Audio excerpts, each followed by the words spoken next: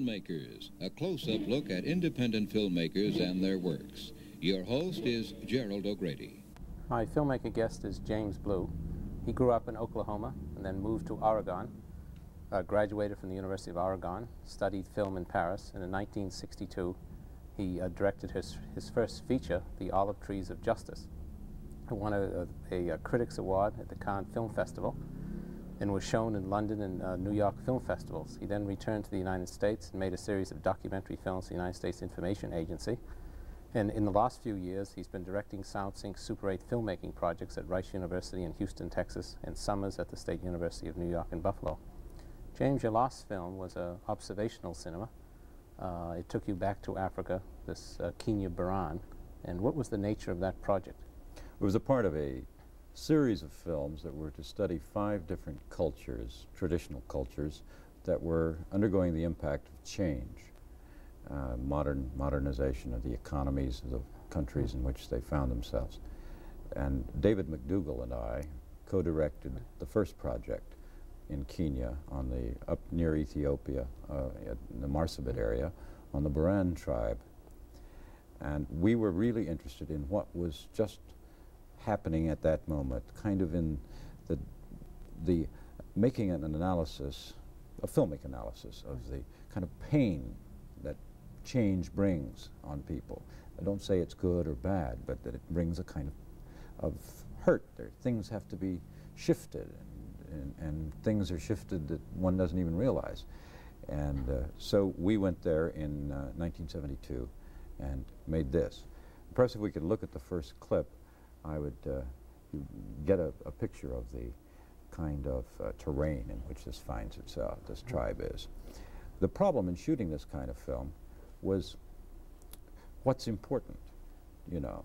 You can go out and film cre uh, exotic creatures in Africa and make them look like exotic creatures, or you can uh, try to be human, try to see them as human beings. And so MacDougall and I set out to do that, and of course sync sound was very important there and you'll be able to see subtitles of what they're saying. And I think that changes the image uh, that we might have of them as, than if we weren't able to understand them. This is one of the villages they live in. They're semi-nomadic, and they live in little uh, grass huts like that, which they move around.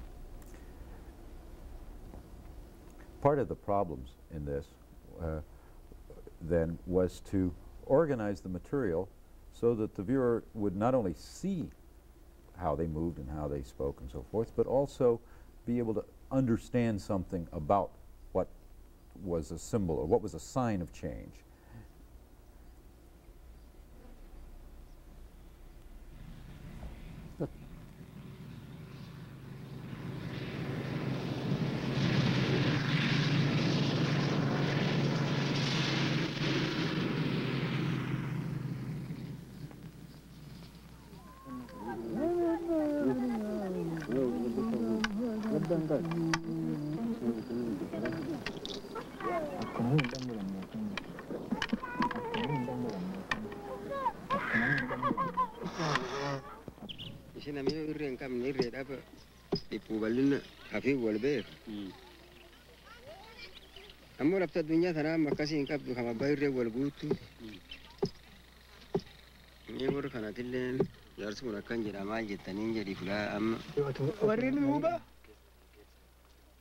warri silaa akka isaatti beekta sirkaal irraayyuu yaa dhagahanam isi faayidaa ijoollee sirkaallee amma beekta isi ijoolleen guddoon tun faayidaa maal qabdi? Kan isin faayidaa waagamii seenti jedhe? Sila nama gaafatu kan wal gaafatanii sila faayidaa isii duub sila sirkaalatti himuu malan jedhe. Oo faayidaa hin qabdu yoo jedhani haadhuun guufuurra waan balleessitu hin qabdu isin qiyaasa dhalte haati adeemtu jedhe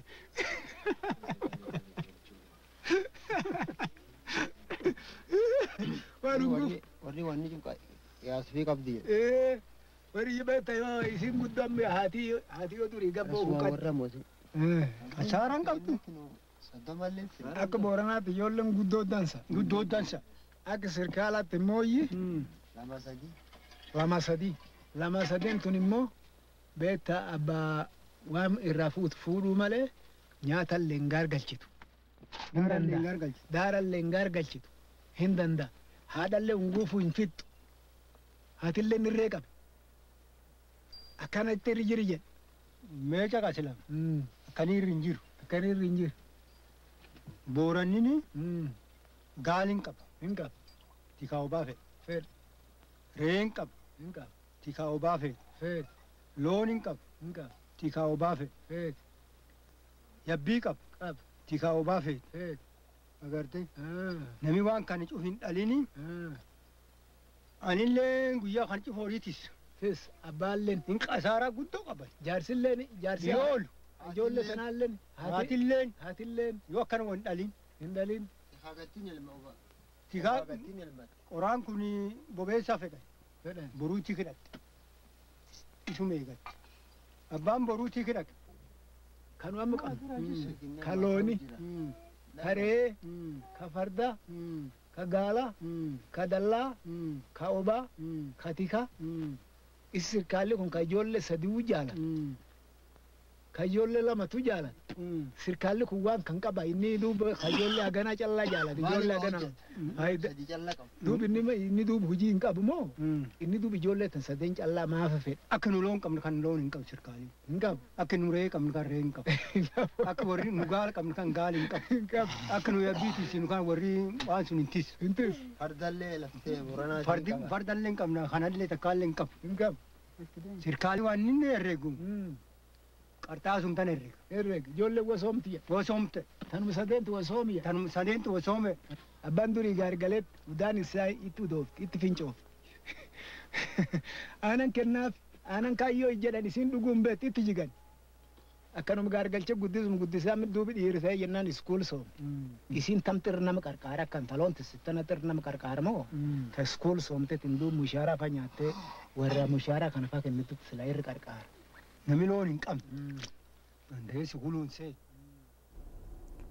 All right, this next clip we'll see, uh, it comes much later in the film, and there are some portions of it in English, but I may have to clarify it a little.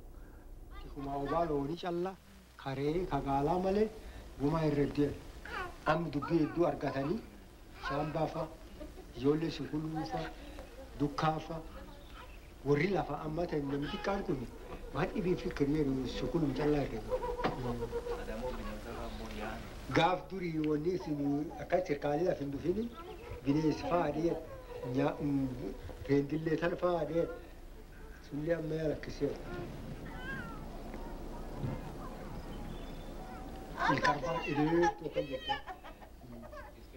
الكرة من أسنجت وجاء إيه الكية kiriyeeru sukulum callaa herreegu. Gaaf durii wanni isin akka sirkaalii lafa hin dhufini bineensi fa'a dhiyee reendillee tan fa'a dhiyee sullee amma yaa lakkisee. il carbone diretto con gli il kirra mi da sanje Oja, eh, il kenya tu nam beta borani wan jedhu waan nam nam ijjeesfa ka dhiiri ijjeesfa ka harbi ijjeesfa kana keeyyate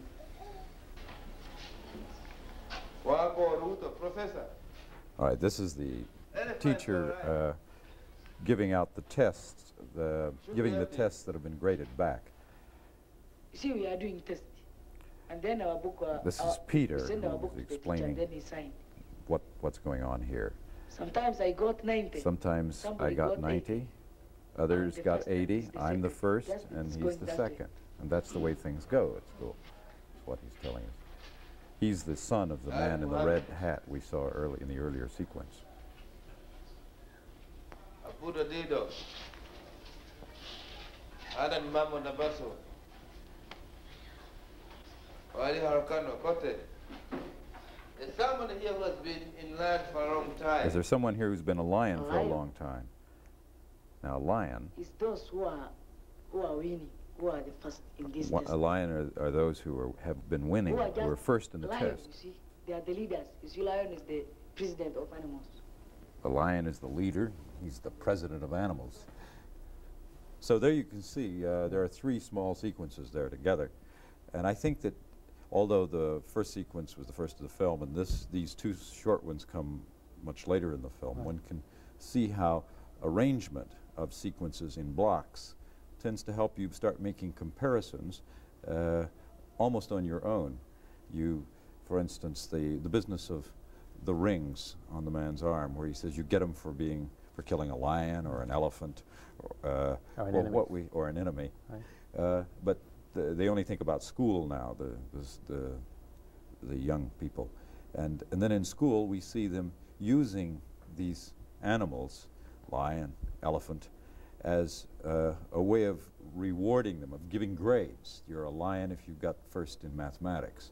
You're an elephant if you got second.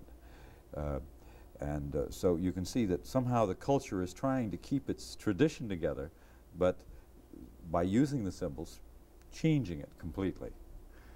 Yeah, in this next sequence that we're going to show, which is the sequence which the water pump is introduced, you get a similar kind of union of the old and the new, I think. Right. This was a time of, of uh, coming uh, drought, and they had to uh, water their cattle every now and then, and the water was getting low in the well. Traditionally, they watered by hand, carrying the water up in buckets and dumping it in a trough.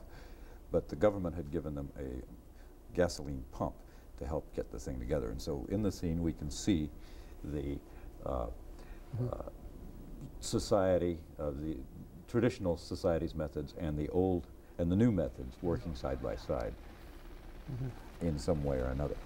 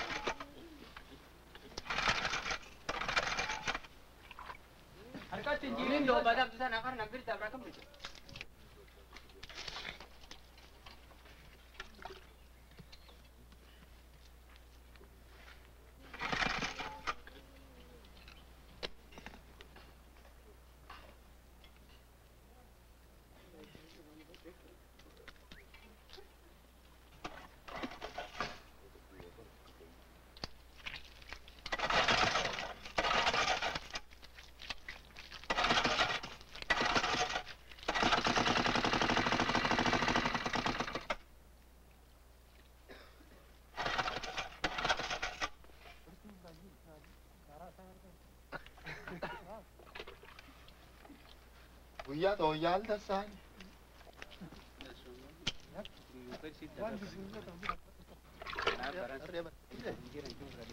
Aku ngori bukan? Enggak dan dengar.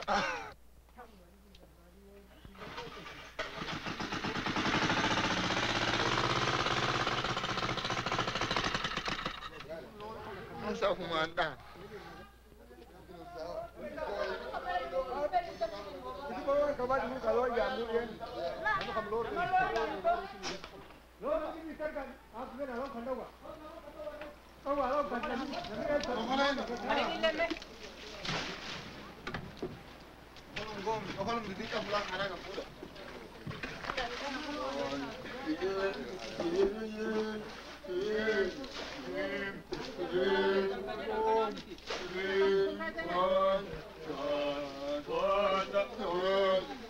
kumaan dhaan.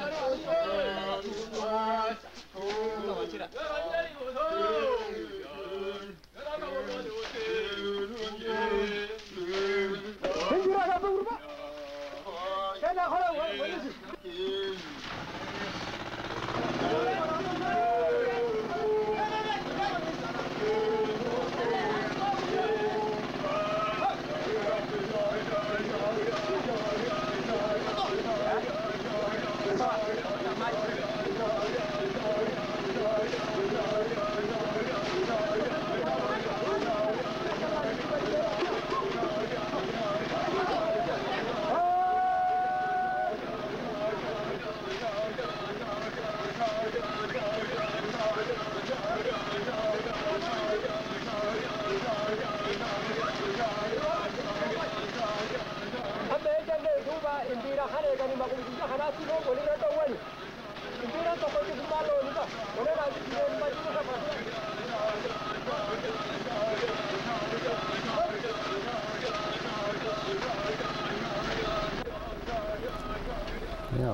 uh, you see a whole variety of changes. It seems to me you have the one you drew attention to of the transformation of the language of the lion. Yeah.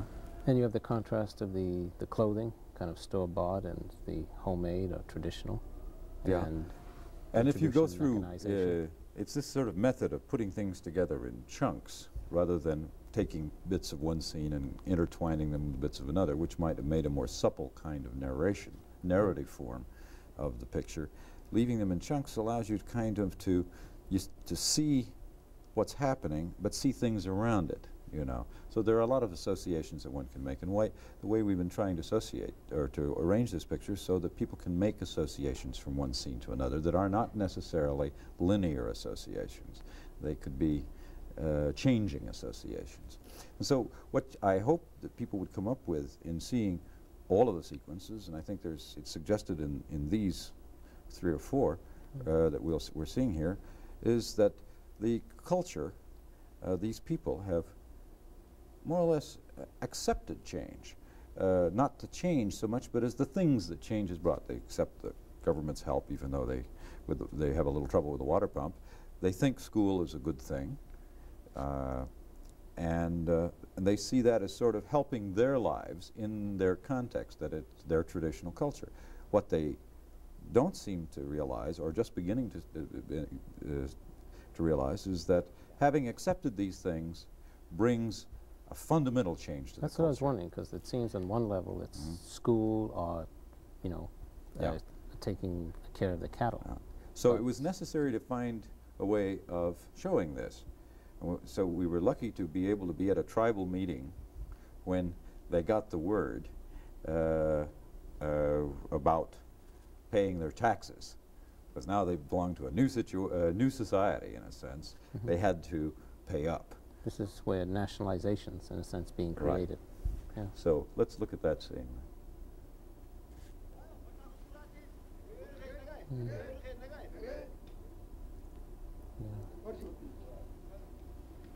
All right. Here's the tribal chieftain, Gilo.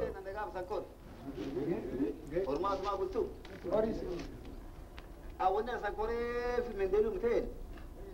Mendeluu abbootii lafaa. Isan abbootii lafaa. Akkamidha. Mee caqasa abbootii lafaa.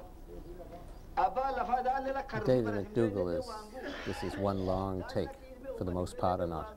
Yes, I think this is something worth pointing out. In this, shooting this kind of material, one has to be careful not to create meaning by the use of the camera so much as to reveal it. And there's a subtle distinction. Uh, in, in attempting to reveal, one, one tries to keep the shots reasonably long and, and where, uh, where possible make connections between one part of the scene and another through a movement rather than just cutting the way fiction is able to. However, the, the, the real meeting goes on for two and a half hours. You have to cut, you have to reduce, you have to see what really is the, are the essential elements. And so we're seeing about four minutes of that. Yes.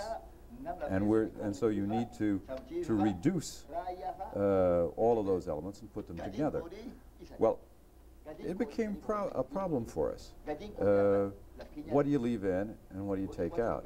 And one of the uh, rules for our cutting was to never make a point through a cut. Just simply put together those elements of the scene uh, that we felt were essential elements, and then and not attempt to convince the audience of anything just by the way you cut. Now, this is one of the more deep-rooted changes now, that they're now, for the schools, having made for their the choice. schools, but they're having to pay taxes. So now paying taxes gives them problems. He says the government has papers.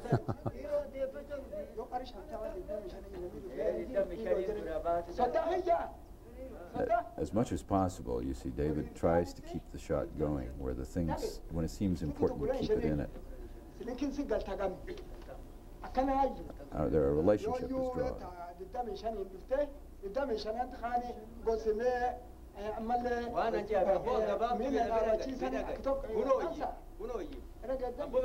So it's important to know that he, this man here, felt that way in response to that provocation from the officer, so that David kept that shot together.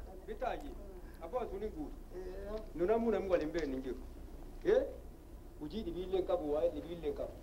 maatii xiyyaa gisiin beektanii namni hin beeknu jira iloluu haatu jirreen jira dhibii waa waa qaba. Midhaan bishaate har. One gets the impression that one's seen several different ki- shots, but actually it's been a long take almost ever Yeah. since uh, the lieutenant there started speaking. And you were recording the sound. Yes, I was taking the sound and David was shooting, and we both edited. It's still continuing, you see.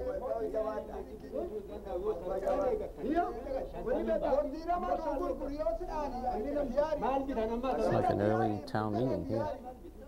Trying to think of how to send the children to school. Harka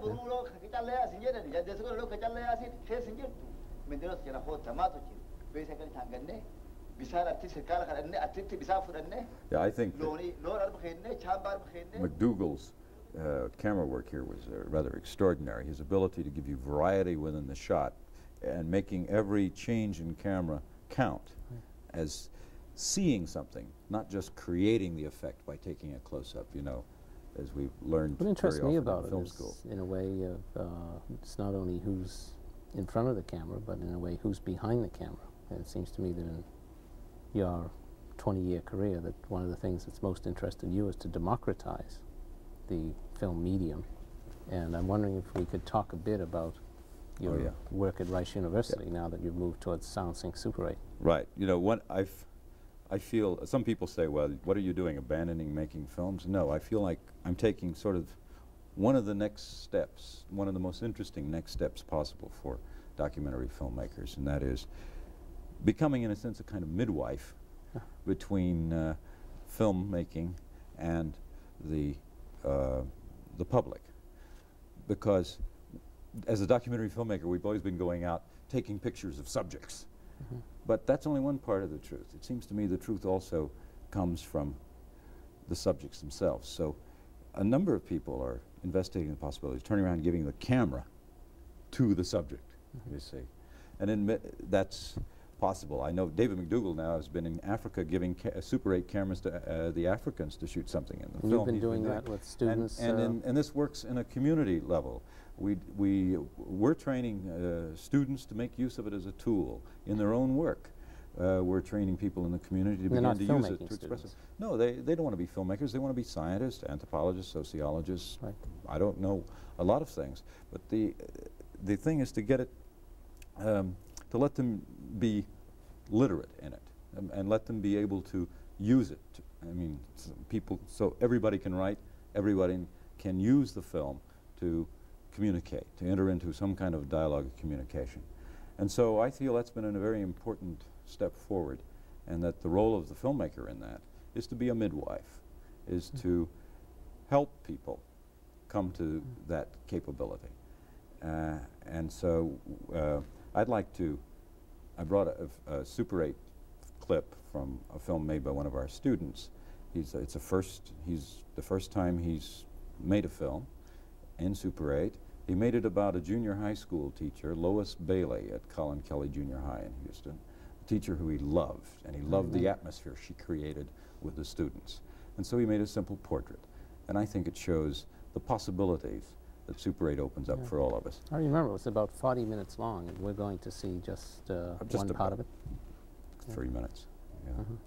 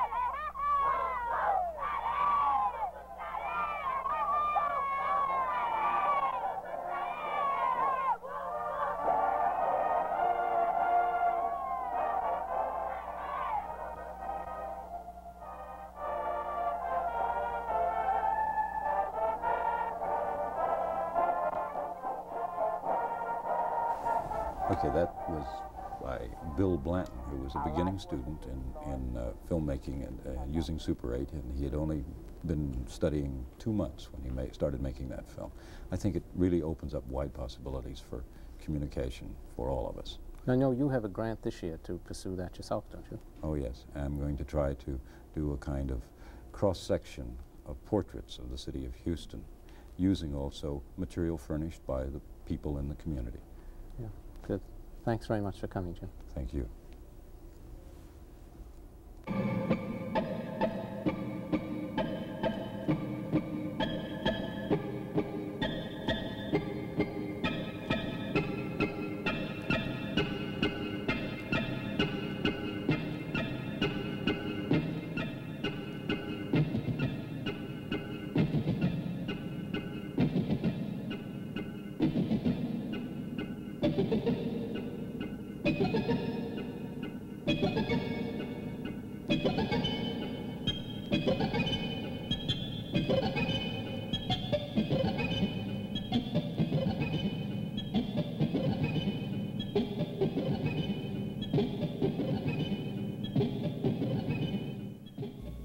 Filmmakers is produced in cooperation with Media Study Buffalo and is a videotape production of WNED Buffalo.